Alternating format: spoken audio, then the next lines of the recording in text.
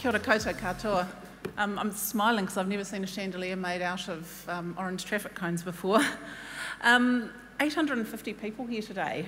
Uh, that's a real treat to be able to have that. To be able to have 800 infrastructure leaders from across Aotearoa, um, we're in an incredibly privileged position here being future focused and being able to genuinely influence the look and feel of the future and our future generations and how they'll experience the environments in which they live, work and play. Uh, back in early March, I was still convinced I was going to Europe at the end of the month, and I think it all changed in the matter of a few days. Um, I was sitting in a restaurant on a Friday. Um, there were a few rumours and whispers, which I generally tend to give a wide berth, but these ones did seem to be getting a lot louder. Um, we at Beca had um, done a few working from home tests. Um, we'd started rolling out Teams. Um, we had a few other tools that we were rolling out a lot quicker than we might have usually. And then the following Monday, we all knew Alert Level 4 was coming. I reflect on the heroes of the past year, and the ones that come to mind are still the small family businesses that stuck it out, and they did it hard. I think about the bakery on Karangahape Road that delivered us delicious bread and gave me some sourdough tips um, the local butcher, they all pivoted their businesses going online. We even had a local wine bar that delivered us platter food. I really focused myself on buying locally from small businesses, um, even more so than I usually do. Remember the supermarket workers, the pharmacy staff, the medical staff, essential road workers, infrastructure workers, they all became our superheroes and the IT people in our offices, they were the unsung heroes. I don't know about you, but um, I don't know what magic the Beca IT team did in the background, but they really were the superheroes that transformed our business in a matter of only a few days, enabling us all to continue pretty much seamlessly. It was um, pretty amaz amazing feat. Um, why do I reflect on this now? As 800 infrastructure leaders, it is now our turn. It's our turn to provide leadership as we embark on one of the largest infrastructure investments in recent history. I don't know how many times I've heard, and I've actually said it myself, that this year has been a resilience test. So we have a chance now to reset and use this opportunity to build back better.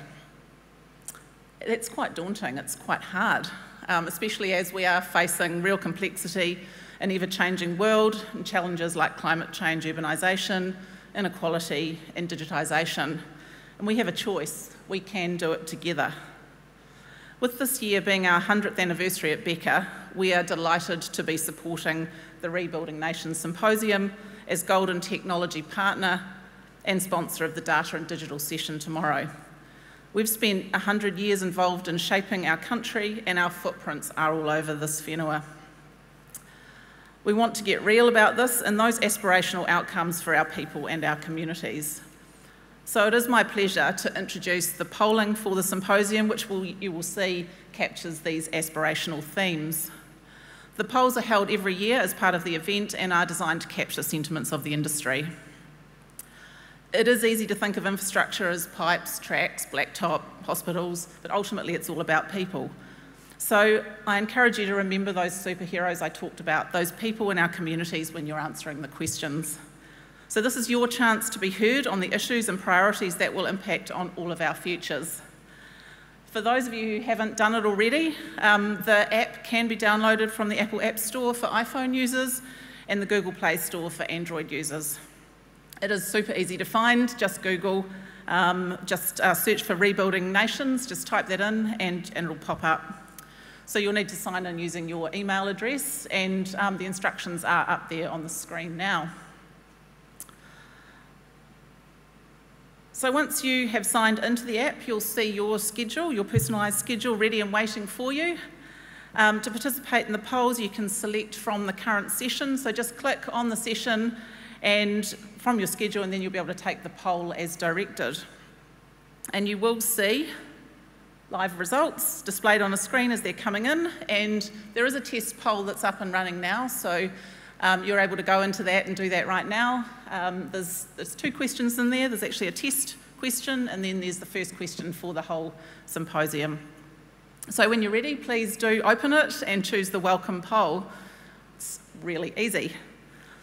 So thanks everybody and remember that there will be a chance to answer a question after every session and please do check that app regularly. So after this, um, you'll be pleased to know it is um, time for some cafe and kai and I look forward to meeting some of you shortly. Looking forward to meeting some new faces and some people that I've met before. Tēnā koutou katoa. Thank you.